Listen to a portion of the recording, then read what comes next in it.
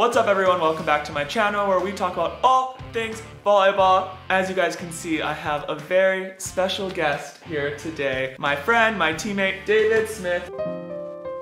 Dave, thanks for being here.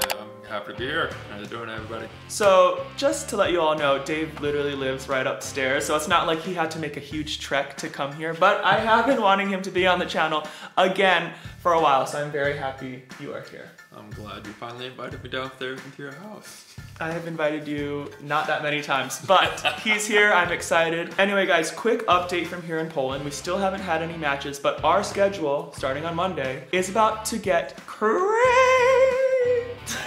Crazy. So on Monday, we are going to Slovenia, Maribor for Champions League, and then we go to Russia. to play Lokomotiv Novosibirsk in Siberia, Russia, and then we go to We come home for one day. and we go to Italy. Yes, yes. We go to Italy to play Lube Civitanova, and then Back to Poland for a Plus Liga match in Suwałki. Complete opposite other side of the country. which is the furthest trip that we have here in Zaksa in the Plus Liga in Poland. So Four matches, four away matches, four different countries. that is insane. So wish us luck, guys. It's gonna be a doozy, but we're hoping to win all of them. So wish us luck.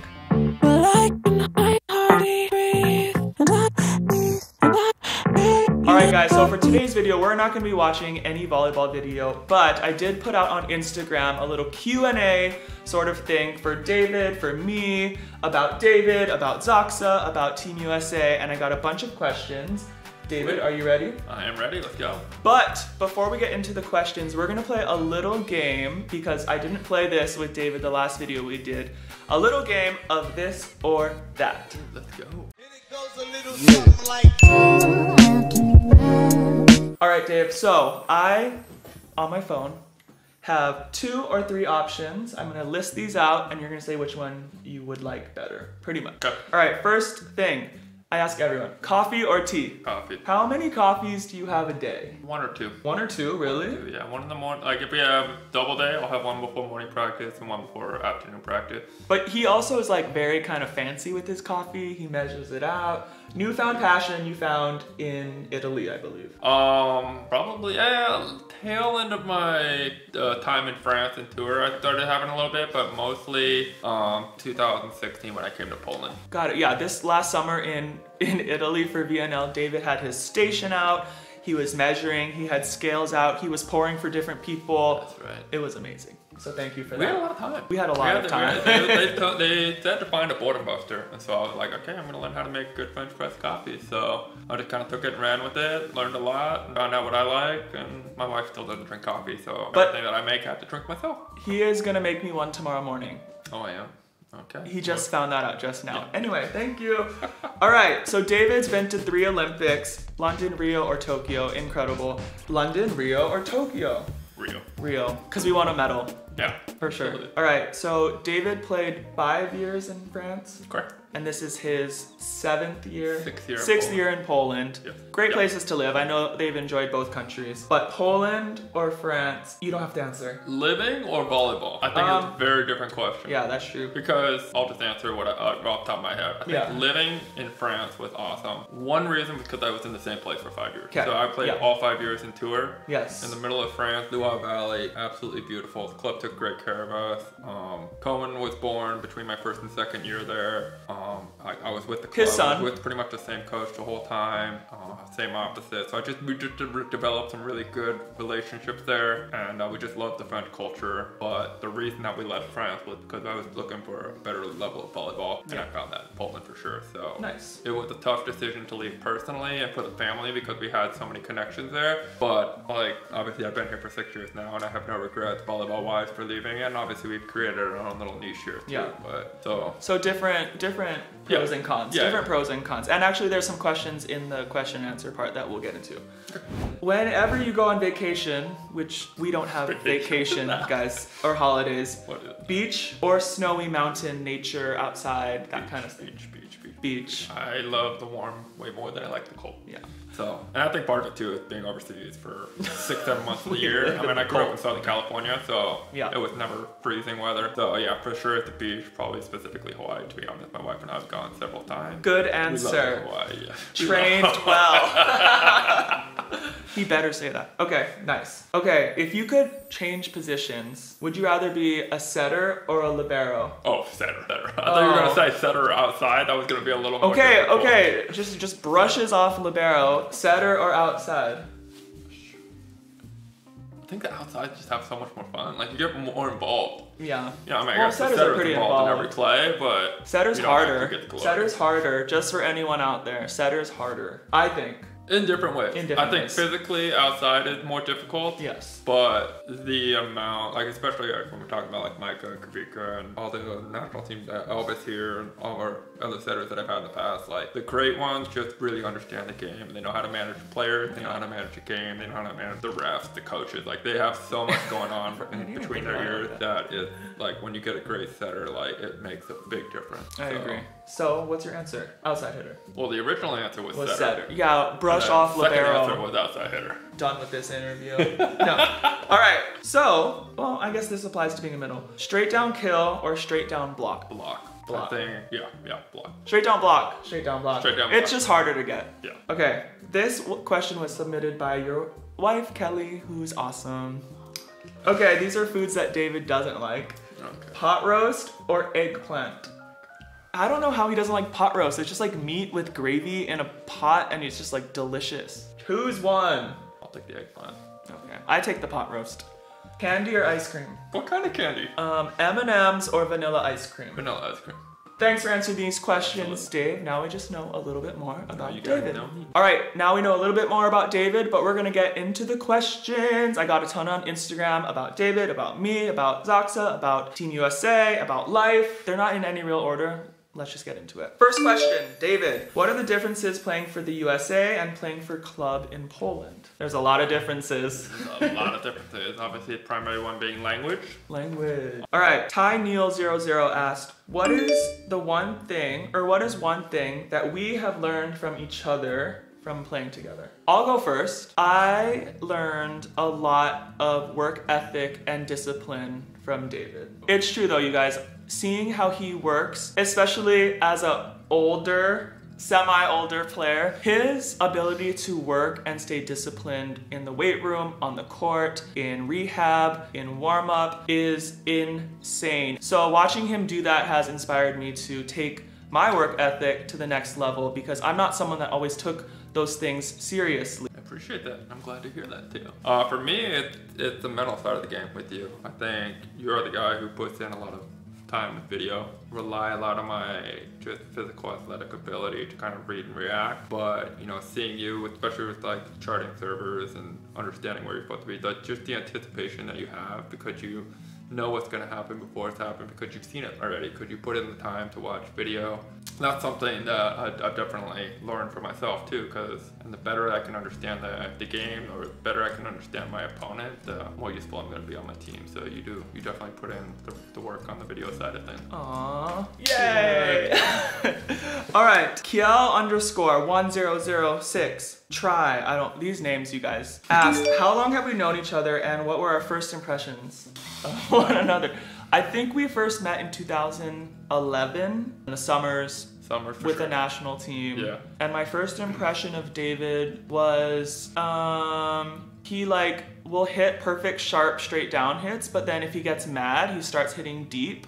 And that's that's like when you get hit in the face. So I remember being so scared in defense against him. I think that was my first impression. What's your first impression Because I mean, when you enter the gym, you don't get to know people like that quickly, and you just play against each other sometimes. So I just Yeah. remember being like, "Where do I stand on defense?" yeah you definitely like for most of the guys on the national team first impression is always volleyball it's not personally Yeah, I mean, exactly. maybe a couple guys maybe like they maybe shake your hand the first step, step in the gym but most of the time you're like a young guy and you're trying to sneak in crawl along the wall just, just, like, like- hide in the back of the huddle when the coach is talking.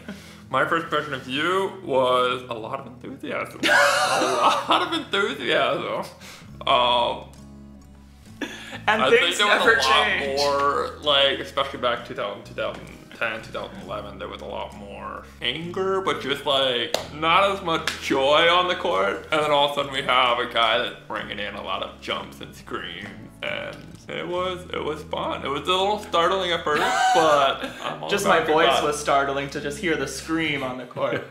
but oh, well, that's nice. I mean, I feel like my first impression of you is true, and your first impression of me is true. Of course. Because I still like to scream, and you still like to hit deep balls when you get mad and try to hit us in the face. Do. All right, our next question actually comes from the same person. And to preface this question, Dave does have hearing loss. We talked about that in our last video. Mm-hmm. It's incredible. Kinds of things that he does. But this person asked, Does David, have you ever felt insecure about your hearing loss it playing professional volleyball or volleyball in general? I don't want to say like I need a little bit more than normal sometimes, and I try to do my best to read lips and you know look people in the faces so you don't have to repeat yourself or we can just have normal conversation. But there are times when I'm not seeing the person who's trying to get my attention, and uh, I won't hear them, and it's not because I'm being a jerk and not listening or paying attention or try, like I'm just ignoring you or something like that, because I literally don't hear you. I've kind of had to go through my whole life just understanding how to explain that to other people. It's not just the volume's turned down, it's the volume turned down and it's garbage clarity too sometimes. so it's like I can hear sound, I can see that you're speaking to me, and it just doesn't make sense sometimes. Yeah, I love that you said it's part of your story, it's part of your journey. Everyone has a different story, and that's a big part of yours. And Yeah. what a story it is. I mean, that's, you guys, I've talked about this. It's insane and incredible the kinds of things he does. I mean, you have 70, 75% hearing loss, and you're playing at the top level. International volleyball, Olympics, three times. Okay, enough said. enough said about you. On that topic, Uh-huh. Popoi Bato, I don't know, asks, what kind of, what's your brand of hearing aids? I am wearing Oticon hearing aids right now. Um, they've been really great to me. They've kind of partnered with me the last three Olympics and kind of given me new aids every quad, every whenever they burn out, really. So they've been awesome. Great device, the technology, even from the first pair I had in 2012 to now, just astounding the kind Wow. of technology. Obviously, uh, all different kind of hearing aid brands have it, but Oticon's been great to me, and then these devices are awesome. Switching subjects a little bit. Krzysztof underscore Bushek, very Polish name there, asks, did David encourage Erik to come to Zaksa? I did. I did. I was one of the when the club started understanding that they were going to need a libero. You know, after Zadi decided that he was going to switch clubs, um, they they reached out to me and asked if if Erik was interested, and I'm like, I don't know, he's in Russia. so they asked me to reach out to Erik, and I did, and I kind of floated some feelers by. He told me he was not at the at that time you weren't exactly sure what your plans were for the following year, but I was just like, hey. Like, obviously, I wanted you to come. I love playing with you on the national team. You're obviously one of the top liberos in the world. So, if we could bring you in, I think you would. Obviously, I thought you were a huge asset to the team. I remember one of the first questions they were like, "We know he's good. We know he's a good volleyball player. Obviously, two-time Olympian, bronze." Well, I, what, is, what question is coming? I don't know what question they're asking. They wanted me to know. They wanted to know if you were a good person. And I, Oh, just, I really? just laughed in their face. I'm like, he's a great guy. Like that. It's not a thing to worry about there. Well, I appreciate that, but that is an interesting question to ask. I've actually never heard that It's- overseas. It's one of the reasons I appreciate this club because I think they're very mindful of like not just the talent level they're putting on the court, but how it all works together. Yeah. Um, and that's one of the reasons I was like, absolutely, like if you can somehow convince them to come here, like I would endorse that. I want him to come here. So Thank you. It And worked. Nathaniel underscore Dykstra asked, What is our favorite memory about Team USA outside of the Olympics? I think for me, I don't know if you were on this trip. I think you were. When we took a river cruise on the Amazon. Yeah. I don't know if I would call it a cruise. We took a river boat trip up the Amazon, and it was so just out of the realm of anything that we had ever done before. Yeah. We saw river dolphins, we saw river communities, we ate river food, and it was just like you didn't because he doesn't eat fish. Can't eat fish. But it was just like so different. And Like the river community that you were talking about. It's Yeah. like literally like cities in the middle of the like the Amazon is massive. Yeah, and there's we like that. literally floating communities in the middle of the Yeah. Amazon and it's insane. for me, that it just kind of blew my mind. I was just like, I'm on the Amazon River, eating Amazon food, looking mm. at river dolphins, Yeah. and enjoying life. So for me, that was like And there was just that a one unique part of the story. river where the two parts of the river come together, but they don't mix right away. So you literally have like you drive along part of the Amazon, and like this part is like I think it was like a couple degrees cooler Yeah. than the other. Like you literally put both hands in the water, and it's like this is colder It than that one, and it goes like that for a little while before Yeah. it finally mixes. That was I that thought was that was really cool. Yeah. So yeah, we've had some really unique, cool experiences outside of volleyball, but volleyball takes us to these places, but Yeah. then we kind of have to figure it out on our own after that. Jess Omoro Dion asks, back to your hearing, has your hearing aid ever broken in a game and how did you handle it? Yes, on many different levels. Because my hearing aids are actually two different parts. There's the ear mold, which is like a softer plastic and actually goes in the ear. And then like right here, I don't know if you can see it, but right here is connected to a harder plastic. Yeah, it's in the And back. this is the actual unit. So this is like, Okay. this is like the microphone and the speaker. And then this is just kind of like directing it to my ear. So this actually holds it in play, helps. And there was one match where it literally like it's separated right here, which is like there's two different parts, so they separate. So it's not like an irreparable Oh, okay. break, but it literally like came out. So I, I still had the ear mold in my ear, but the hard plastic was like I flying I across remember the floor. that. Where was in that? Oklahoma. We were playing against. That was a long time ago. Ah, what was that? 2013. All right, just Yoshizaki, that's a Japanese name, I should know that. Ask, do you know ASL or American Sign Language? I do. I do. Uh, two different ways I know it. Before I was born, my mom was actually a teacher for deaf students. Oh, In uh, I didn't know that. Yeah, so she was a teacher for deaf students. Obviously, my mom was like, oh, that's the way that we can teach myself and my siblings how to communicate when my hearing aids, when like in the morning when my hearing aids are Yeah. in, or if we're in the pool and I'm not wearing my hearing aids, or if my hearing aids ever go out, or if there's a noisy situation, blah, blah, blah. Okay, KNS 2202 asks, what is it like learning a new team dynamic when you switch clubs and in other languages? Kind of be patient and observe and just keep your eyes open for a little bit, kind of understand. I agree. So, I mean, what is it like? It can be difficult, it can be hard, but if you, like we said, stay patient, open mind, observe, it makes it a lot easier. Yeah. All right, T Run asks, who would be better, Erik playing middle blocker? I don't like where this question is going. or David playing libero? It's him, you guys. Dave 1000 for a middle. I mean, even not even for a middle, just in general, has really good ball control, can pass, always takes a short serve, can play good defense, and blocking, no. So David's gonna win that one. Todorok one Shoto asks, at what age did we start playing volleyball? I was a freshman in high school. Uh, I didn't start playing club till I was 17, but I started my high school team. Uh, was that 14 years 14 or old? 15? yeah, 14, 15. You guys, sorry to interrupt you. I get questions all the time. Is it too late to start volleyball at 14, 15, 16? Never. Started at 14, didn't play club till 17, then won a national championship, three time Olympian. You guys can do it. Don't follow me. I started when I was eight. It was a very different environment. I was raised by coaches. I was basically birthed in a gym. But um, yeah, you guys, if you want to start, just start. Yeah. Just go for it. Why not? I mean, you're not gonna know until you try. Exactly. And I I mean, don't. that's literally the only reason I did it because I just wanted to try it. You know, like at that time, I was I was a soccer soccer player. Yeah. Okay, Kyle.wise.83 asks, who did you look up to slash inspire you to play when you were a beginner or a younger volleyball player? When I finally understood like volleyball and I was looking for other volleyball players, I think the primary guy I looked up to was actually Ryan Millar. For me, growing up in Hawaii, I loved players that had ties to Hawaii, were either like born there, raised there. Luckily, I was raised in an environment that was surrounded by amazing volleyball players, so I looked up to a lot of the Hawaii players. Lindsey Berg, who's a three-time Olympian, Robin Amo, three-time Olympian. Logan Tom was actually born in Hawaii. All right, Jesse Knuckles asks, what do you have in mind for your life after volleyball? Uh, but I'd like to stay involved in volleyball somehow too. So I don't know if I want to coach. Yeah, I could go one of those two ways: either stay involved in volleyball on the coaching side, or try to find a way back into the engineering world that I left behind. anyone watching this that could give us jobs. I think for me, I want to stay involved in volleyball. I think we all know that I have this huge passion for volleyball and growing the sport and helping younger players. So I think like coaching, clinics, um, consulting, mentoring for me is what's going to happen. And I'm excited. I'm excited to give back. And I don't know.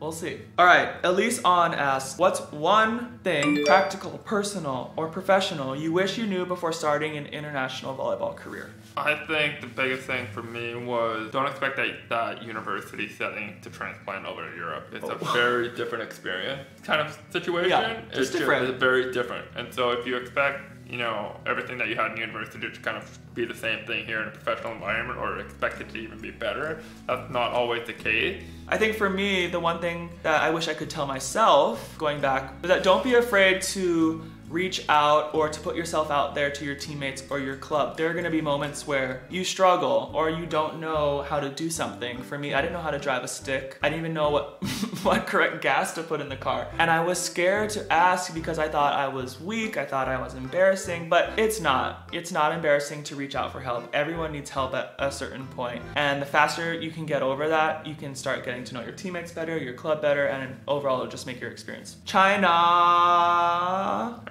asked, "What's y'all?" She this, this person wrote y'all favorite thing about being teammates with each other. You go first. No, I'm just kidding. I'm just kidding. Okay, I love that Dave has this energy in training. On days where people might be tired, I might be tired, I might not be feeling it, it might be cold outside, I don't want to be there, and yes, there are days like that. And Dave always just manages to bring this goofy personality, energy that like makes me laugh, makes me want to work hard, and sometimes I'm like, please don't do that today, but it always manages to make me happy, makes me smile and work harder, and I really appreciate that. I'm. Be the crazy guy. He is. Even at like age 36, you are the crazy energy. The only reason I'm around this long, if I was acting like my age, I would be like crawling into the gym every day. That's true. Okay, talk about me. Uh, I enjoy that, like, or I don't enjoy, I like that we've been teammates so long, so I can trust you. Like, I, I think we've built up a, a lot of trust over the years being teammates, and so I know I can not lay into you, but I know I can say hard things to you, and, it- and you're not gonna take it personally. Like, it might not feel good when I say it, but um, I know that I can verbalize those expectations to you, Yeah. um, because, like I said, we've known each other for so long, so we have a personal relationship that we built up of trust. But like I've also seen you perform at a high level for so long Thank that you. I, I trust you to be able to do that. Thanks.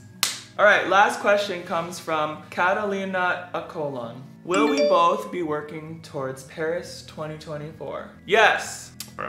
Yes, we'll be trying. We'll be hopefully going. We're gonna work towards it. We're not done. We're not done. Paris 24, 2024 is in Yeah. our sights. All right, you guys, that is all the questions we have for tonight. David, thank you for being here. Thank Great you for question. yeah, Thank great everybody. questions, guys. Thank you for asking those. I appreciate you answering, coming on my channel with me. We have a crazy schedule coming up, like we said. So wish us good luck. We'll be traveling all over the world. Hopefully we win. And I will talk to you all soon. Peace.